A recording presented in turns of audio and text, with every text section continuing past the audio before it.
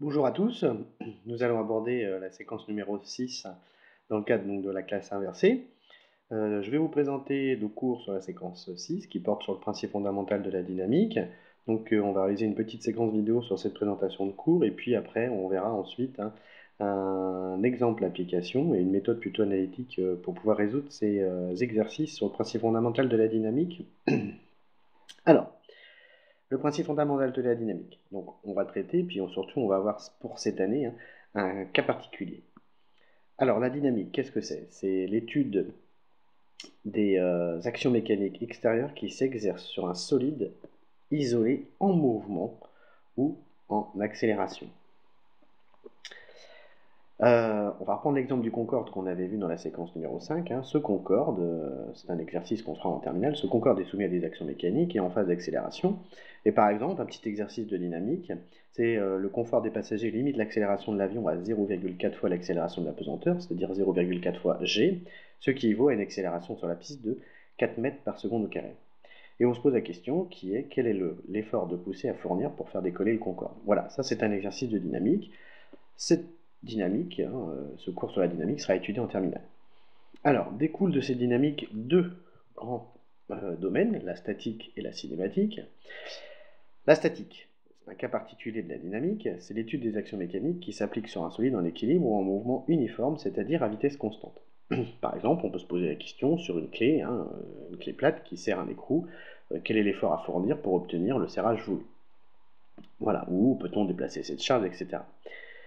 On verra la cinématique aussi, alors euh, la statique, pardon, hein, c'est ce qu'on va traiter aujourd'hui, cas particulier de la dynamique, et puis la cinématique en terminale, hein, c'est l'étude des mouvements, liaison, mouvement, trajectoire, position, vitesse, accélération en fonction du temps. Par exemple, sur ce petit exercice, c'est quel est le mouvement du chariot de masse M1 et quelle est sa vitesse. Voilà un petit peu pour la présentation du cours. Donc nous, cas particulier de la dynamique qui sera la statique. Alors, le principe de la dynamique. On peut l'aborder sous justement deux principes. On va voir ça tout de suite. Euh. Alors, le premier principe consiste, euh, enfin, la première approche plutôt hein, de, la, dynamique, c'est on connaît les actions mécaniques, c'est-à-dire des poussées, l'effort de poussée, l'effort sur les arrière, l'effort sur les cieux avant, la résistance de pénétration dans l'air et le poids. À l'aide du principe fondamental de la dynamique, on va pouvoir déterminer l'accélération de, ce, euh, de cet avion alors je vais juste effacer ça, ce qu'on vient de faire. Donc à l'aide de ces actions mécaniques, on va pouvoir déterminer l'accélération de cet avion, qu'on va noter A petit g. C'est la première approche de la dynamique. En connaissant les actions mécaniques, je peux déterminer donc l'accélération, c'est-à-dire le mouvement de l'avion. Deuxième approche, sur ce principe euh, fondamental de la dynamique, c'est connaissant ici l'accélération, A petit g, alors pas uniquement d'ailleurs, hein, en connaissant l'accélération et la position du concorde en fonction du temps et de sa vitesse, qui va varier évidemment en fonction du temps en phase de décollage.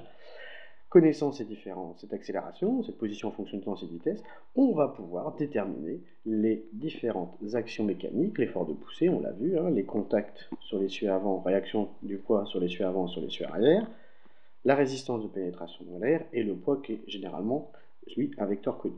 Voilà, donc on a ces deux approches, hein, je répète, soit on connaît l'accélération et on va en déterminer les actions mécaniques, soit on connaît les actions mécaniques et on va déterminer l'accélération. Voilà pour le principe fondamental de la dynamique, hein, avec ces deux approches possibles. Alors nous, on va se mettre dans un cas particulier, qui est le cas particulier d'une translation rectiligne. Donc, mouvement de translation rectiligne, on garde toujours notre exemple de Concorde, avec ses différents euh, vecteurs force, et euh, son vecteur accélération qu'on va remettre ici au point G, hein, petit ag. Voilà le vecteur. Que nous dit ce principe fondamental de la dynamique dans ce cas particulier d'un mouvement de translation C'est que la somme des forces extérieures agissant sur le concorde, on va le nommer C, est égale au... Euh, pardon, j'avais pris un peu les devants, est égale à la masse fois l'accélération du concorde au point G. Voilà ce qu'on peut dire. On peut dire aussi que la somme des moments au point G des forces extérieures agissant sur le concorde, tout ça en vecteur, hein, je vous rappelle, hein, c'est ce qu'on a vu dans la séquence 5, est égal au vecteur Voilà les deux équations du principe fondamental de la dynamique pour le cas d'un solide en translation rectiligne. Voilà, voilà ce que le principe fondamental de la dynamique nous dit, et c'est à l'aide de ce principe qu'on va pouvoir donc euh, élaborer donc soit les deux, approches hein, que je viens de vous présenter, c'est-à-dire hein, calculer le vecteur accélération ou les actions mécaniques.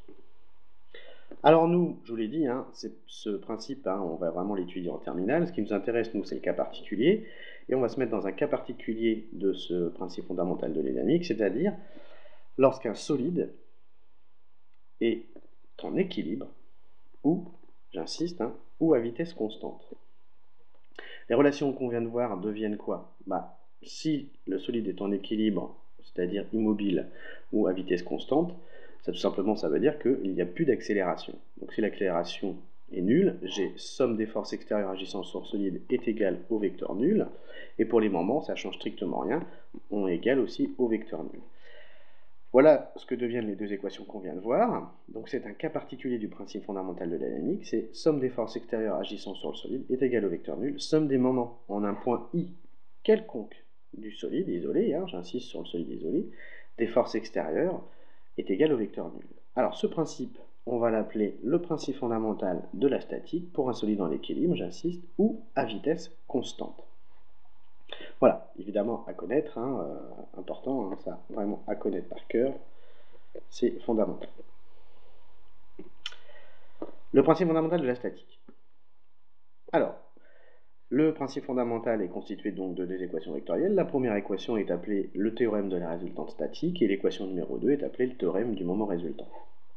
On va poser quelques hypothèses par rapport à ce principe fondamental de la statique, c'est-à-dire qu'il faut l'étudier dans certaines hypothèses, certaines conditions. On supposera, nous, que les solides sont considérés, enfin, que la géométrie de ces solides est considérée comme parfaite, hein, très important, que ces solides sont indéformables, et au niveau de la matière, il faudra que ces solides soient homogènes, c'est-à-dire que tous les atomes sont identiques, le centre de gravité réel coïncide avec le centre, euh, le centre de gravité géométrique, d'accord? Et enfin, isotrope, la matière a les mêmes caractéristiques mécaniques dans toutes les directions. Voilà les hypothèses qu'il faudra faire pour pouvoir appliquer ce principe fondamental de la statique sur différents solides. Voilà, sur le principe fondamental de la statique, on va tout de suite mettre en place un petit exemple d'application, qui est le remorquage d'une deux chevaux à l'aide d'un camion. Alors, soit D et E, les deux points d'application, les deux extrémités d'une barre de remorquage. Le poids de la barre est négligé par rapport aux actions mécaniques qui sont en jeu. On va étudier l'équilibre de cette barre. Donc cette barre est à l'équilibre, ou plus particulièrement à vitesse constante. On va considérer que le camion ici roule à vitesse constante et remorque, la 2 chevaux. Donc si ce solide 3, c'est-à-dire la barre 3, est à, l'équilibre à vitesse constante, on peut appliquer le principe fondamental de la statique. Je vous rappelle qu'il nous dit quoi? Que la somme des forces extérieures, c'est-à-dire la somme des forces extérieures agissant sur 3, le solide isolé, est égale au vecteur nul. Alors, j'ai combien d'actions mécaniques sur cette barre de remorquage bah, 2, une action mécanique au point D, qui est ici, une action mécanique au point E, alors attention, D de 1 sur 3, c'est bien de la 2 chevaux sur 3 sur le solide isolé, et au point E, c'est de 2 sur 3 du camion sur la barre, le solide isolé. Si j'applique le principe fondamental de la statique, et plus particulièrement la première équation, donc le théorème de la résultante statique, je récupère quoi? Je récupère que cette équation-là, c'est-à-dire que D de 1 sur 3 plus E de 2 sur 3 est égal au vecteur nul, et je peux en déduire que D de 1 sur 3 est égal à moins E de 2 sur 3. Qu'est-ce que ça veut dire cette petite équation qu'on vient d'écrire en appliquant le principe fondamental de la statique est un solide soumis à deux actions mécaniques. Ben, ça veut dire quoi? Ça veut dire que ces deux actions mécaniques ont bien la même norme, ont la même direction, qui est la droite DE, et des sens opposés, on le voit apparaître avec le moins qui est ici. Et ça, évidemment, c'est un théorème qu'on va pouvoir rédiger pour tous les solides soumis à deux actions mécaniques, évidemment à l'équilibre ou à vitesse constante. Et donc, on va le noter ici. Donc, vous notez, hein, vous pouvez faire pause pour reprendre les remarques et euh, revoir un petit peu ce qu'on vient de faire.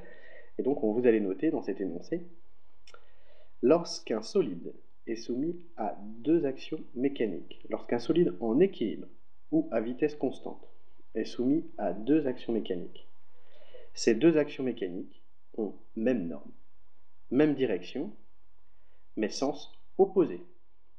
Voilà ce qu'il va falloir rédiger dans l'énoncé. D'accord? Cet énoncé, évidemment, ça s'applique à tous les solides, soumis à deux tous les solides, j'insiste, en équilibre à vitesse constante, soumis à deux actions mécaniques.